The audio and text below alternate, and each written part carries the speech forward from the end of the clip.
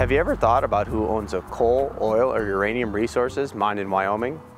Because minerals occur at varying depths underground, they are often owned separately from the surface above. This is called severed minerals, or the split estate. The United States is one of the only countries in the world where mineral rights can be owned by individuals instead of the government.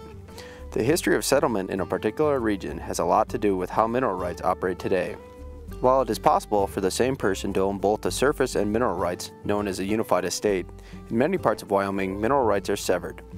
Due to the railroad and homesteading history of our state, much of the mineral estate in Wyoming has been reserved and is owned by the federal government or the Union Pacific Railroad. This could include the mineral rights under your neighborhood. If you are curious about mineral rights on your property, a good place to start is a deed or title, but it may take more digging with the help of an attorney or landman. If your property is in a split estate situation, there are some protections for surface owners, but a surface property owner cannot prohibit access to mineral rights below. Because of the complexity of mineral ownership, it is best to consult an attorney if you have questions. The laws governing mineral rights and extraction will vary by the type of resource in question. For the University of Wyoming Extension, I'm Milton Geiger, exploring the nature of Wyoming.